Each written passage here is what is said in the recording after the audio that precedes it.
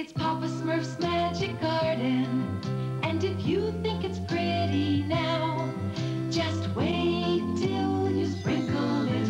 Just wait till your friends say, wow! It's your magic garden. You just add the magic solution. Smurf flowers bloom as Smurfy trees grow under a Smurfy rainbow. And you can grow it all over again. Papa Smurf's Magic Garden. You make it grow. From Croner Toys.